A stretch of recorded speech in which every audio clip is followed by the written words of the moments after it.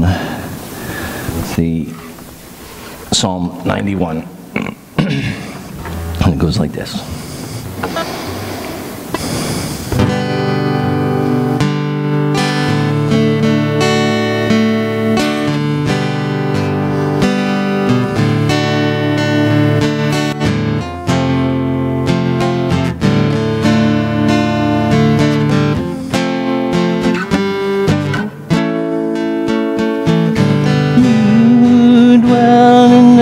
Shelter of the Lord. You abide in the shadow for life. Say to the Lord, my refuge, my rock, in whom I trust.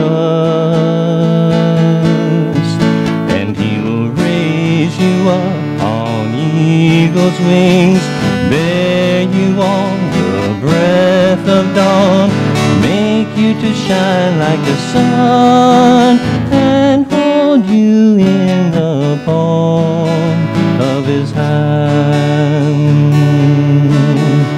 The snare of the flower will never capture you, and famine will bring you no fear. Under his wings, your refuge, his faithfulness, your shield. And he will raise you up on eagle's wings, bear you on the breath of dawn, make you to shine like the sun, and hold you in the palm of his hand. You need not fear the terror of the night, nor the arrow that flies by the day. Thou thousands may fall about you, near you they shall not come. Sing it with me. They will raise you up on eagle's wings, bear you on the breath of dawn, make you to shine like the sun, and hold you in the palm of his hand. For to his angels he's given a command to guard you in all of your ways. Upon their hands they will bear you up, lest you dash your foot upon a stone. And he will raise you up on eagle's wings, bear you on the breath of dawn, make you to shine like the sun, and hold you in the palm of his hands. And he will raise you up. And he will raise you up on eagle's wings, bear you on the breath of dawn, make you to shine like the sun, hold you in the palm of his hand. Lord God, we thank you for the ability to be here this morning to worship you. Lord, we ask that you would bless us here with your presence, that you would open our eyes to what refuge is and, and how we do that with you, what it means understand your promises and, and use those to, to build faith so, so as we find that, we, we can take refuge in you, and you will allow you to guide us in all our ways. These things we ask in Jesus' precious name. Amen.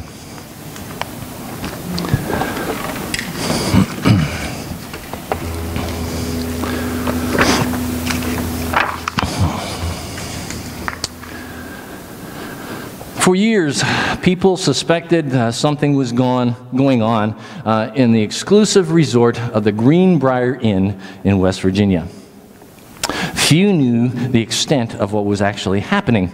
See, during the Eisenhower administration, while the Greenbrier was constructing a new wing, the U.S. government secretly was constructing an underground bunker that would house the House of Representatives and the Senate in case of catastrophic national emergency.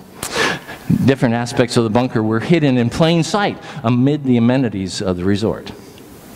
The bunker included a commissary, clinic, a media production room, living quarters, and, and rooms for the congressmen to, to conduct the national business.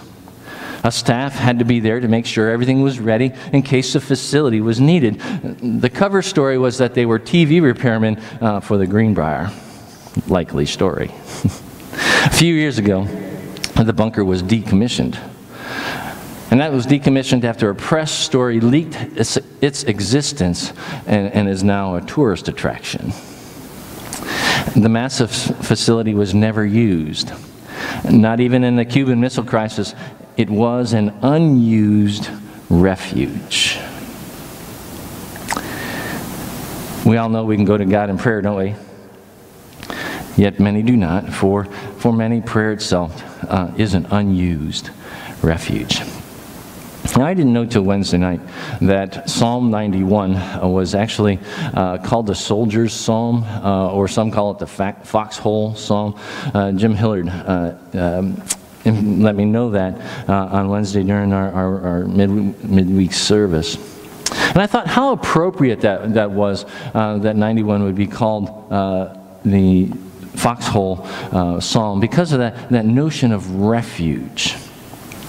Um, for soldiers, it would make sense uh, to hold on to, to something that, that talked about refuge because those folks knew what it meant to need to take refuge in those foxholes. I'm, I, I met with, uh, excuse me, uh, Mel Templeton yesterday, and hopefully forgives me for doing this, but um, he and I were talking, and he served in World War II, and, and during uh, his time, he, he served over in England, uh, and it was the time when um, the Nazis were, were bombing England, and, and he told him many nights he, he, was, he was spent in a, in, a, in a bunker, a foxhole, outside of, his, outside of their barracks, and watched uh, as the planes would fight and the, and the, the shrapnel and, and the, you know, the anti-aircraft trackers would go. And, it, and, he said he'd never go to a, a, a fireworks again because he'd seen too much already.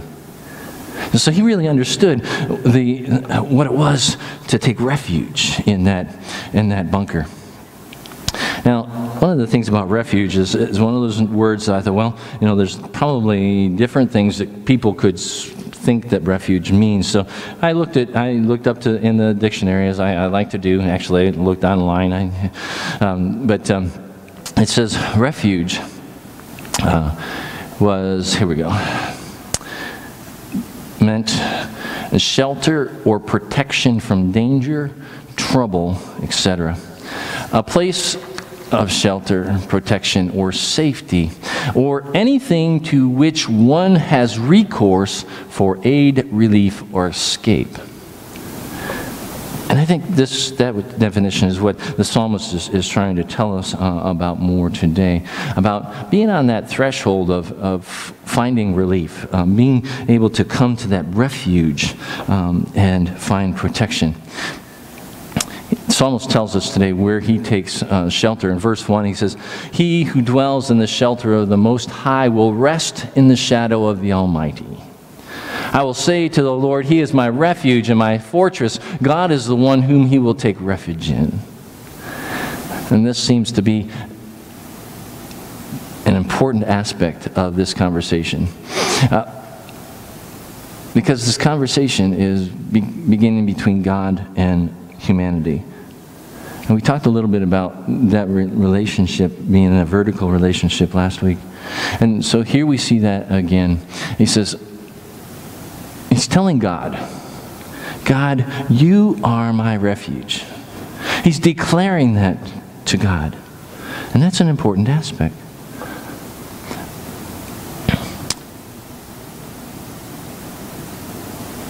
The term refuge really holds very little power for us Western Christianers, do, doesn't it? Um,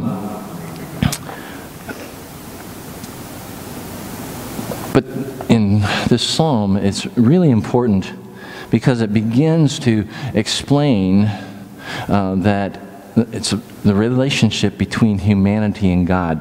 And that relationship is one of dependence. Um, believers who are those who seek refuge or shelter or protection from God. They're not relying upon their own abilities or uh, their own uh, to be able to protect themselves.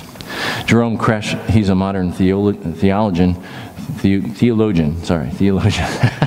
it closely relates the concept of refuge to the concept of trust and confidence and reliance. Uh, in other words, to turn to God as a refuge is to seek protection, seek forgiveness, and seek blessing or, or seek hope in God. And it's also to trust in God, to have the faith that God will come through. This, after all, is what, much what faith is built on, isn't it? That ability to trust and that, to putting one's life in God's hands and, and struggling, uh, struggling to trust in and rely upon God. Maybe this will help us a little bit. Hit the video, will you?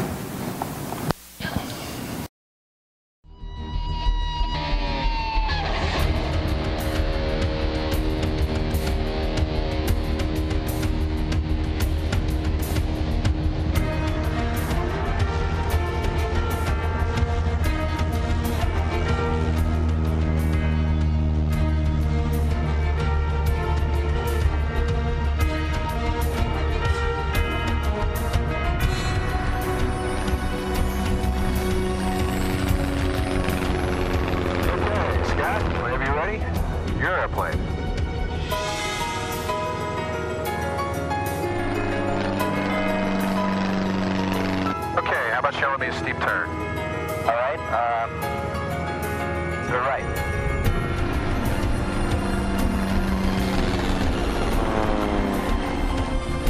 More back pressure, watch your altitude.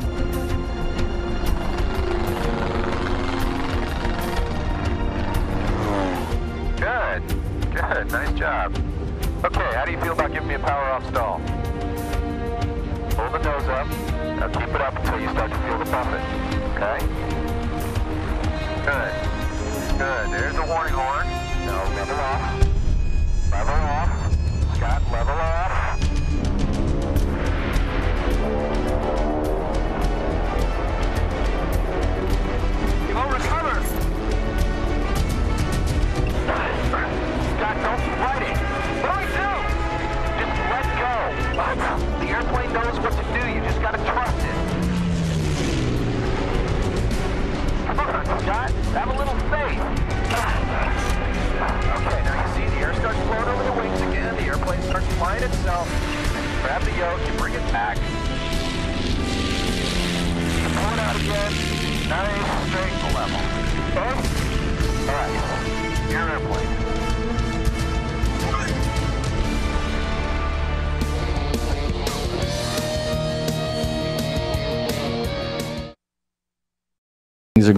Well, and then we're asked to do something like, I love the look on that guy's face. Let's do it, you know, yeah, it's like, what do you, you want me to do what?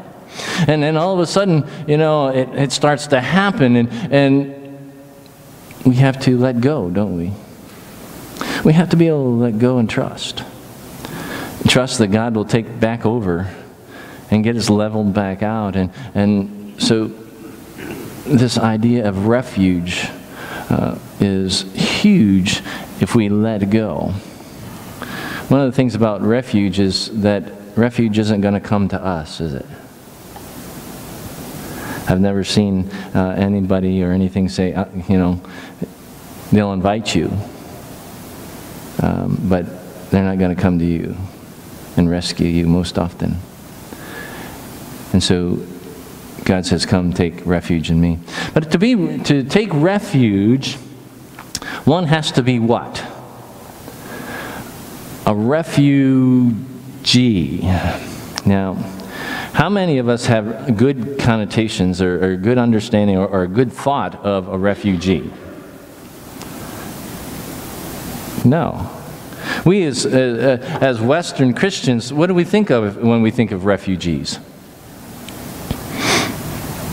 How about the Cuban boat people? I uh, thought of those. Or we see the, the pictures on the, on the TV, don't we? See the, uh, about all these, these people that, that are, you know, but, and what are they? They have no home. They have nothing to their name.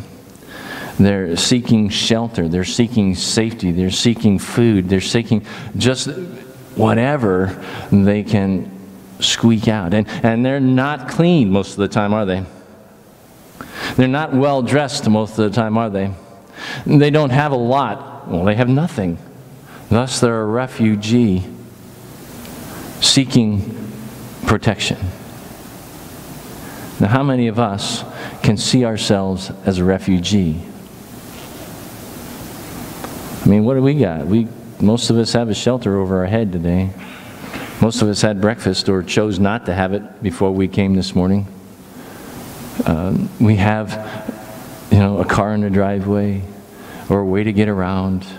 We've got shoes on our feet. We're, we're, you know, we're bathed or we choose not to bathe. We're clean, but not. But so it's hard for us to think of ourselves as a refugee, isn't it?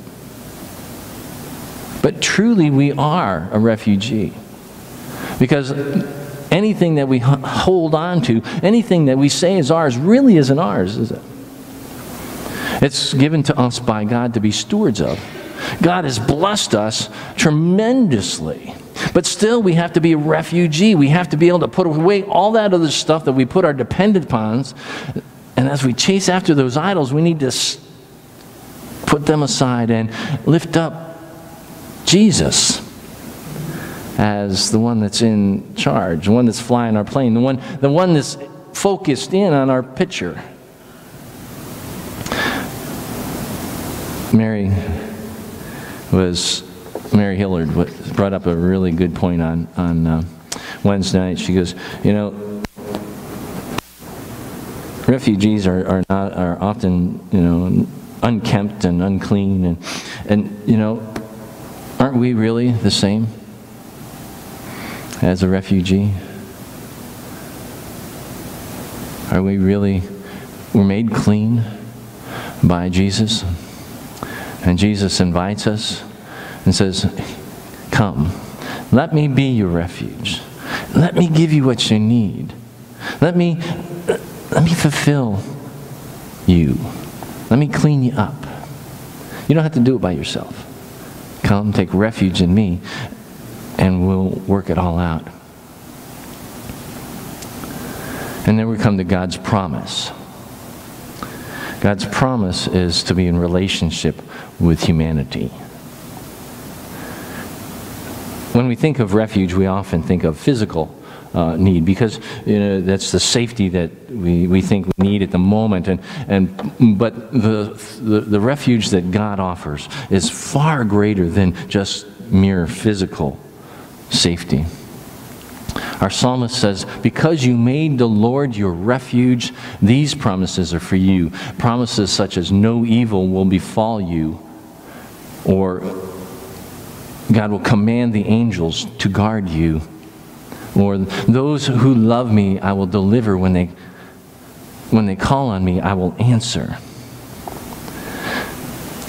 These kind of promises are, are made in this psalm. And the soldiers in, in foxholes, they held on to this, this psalm because, why? They were in harm's way, weren't they? And they were fearful for their lives, and, and they were holding on to this promise that God would keep them safe. But how many of those soldiers that were holding on to Psalm 91 died in those foxholes? So, does that make the promise of Psalm 91 untrue? Does it make it a lie? One of the things that we need to be careful of as we read the Old Testament and the, and the promises there is that we have to read them in context. Psalm 91 was probably uh, spoken um, by a priestly figure to a, a one individual. And so he was offering the promise of God to that one individual. But from this, we can take the promise of God to be with us.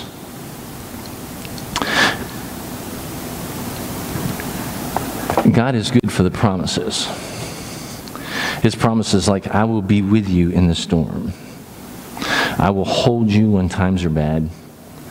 Uh, but oftentimes, we want to hear what we want to hear, don't we? And oftentimes we as preachers make the mistake of saying, um, you know, if you, if you give everything you got, if you give your best to God, then, you know, you, health, wealth, and, and security and success is yours. That is not necessarily the case. Ask any of the, the third, third world refugees that are Christian. What's their promise? Their promise is a better life in eternity, a life guaranteed by Christ if they will call upon the Lord. And, and so there's where we find our promise. Not so much that we're going to drive big cars or have fancy houses or, or you know, eat at the, you know, this banquet every night, but the promise is that God will be with us when we take ourselves and offer ourselves up and seek refuge in Christ Jesus a song that says uh, talks about refuge, uh, about and some of God's promises um, to be a healer, uh, to be a lover deeper than the sea. Mercy is a promise of God, um, and He will be our fortress if we'll only trust in Him uh, as we go forward. So this is "I Lift My Hands" by Chris Tomlin.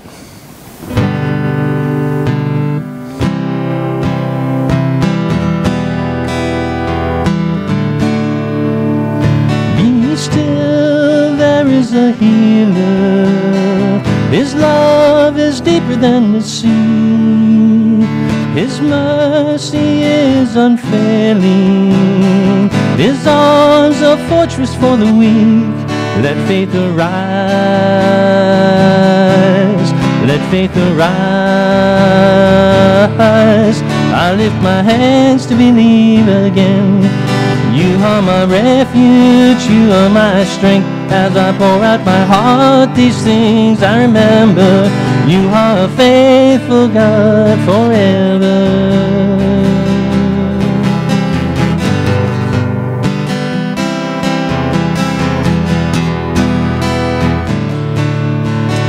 Be still, there is a river that flows from Calvary's stream, a fountain for the thirsty, your grace that washes over me.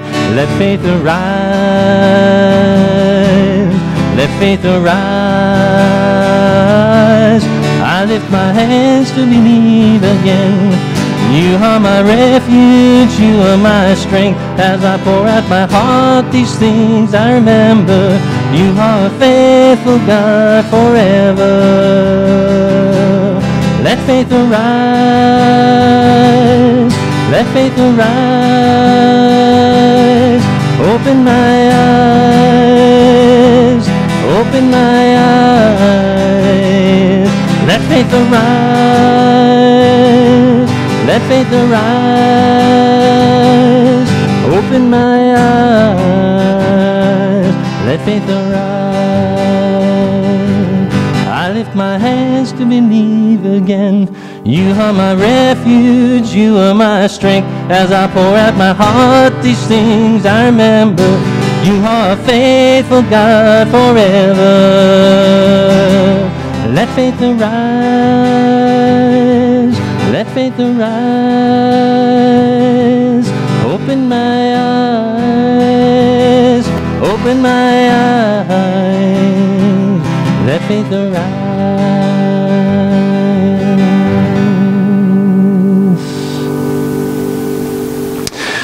Threshold.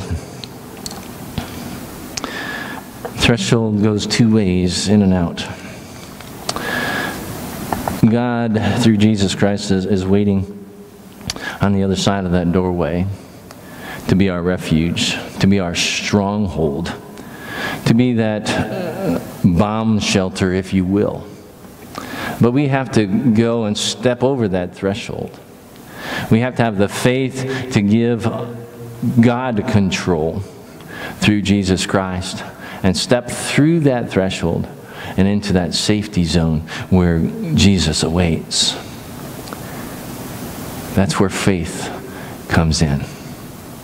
The faith to trust in the promises that God gives us. And God is always, always faithful. So let faith arise in your heart to take refuge in the one who can protect us from all things. Amen.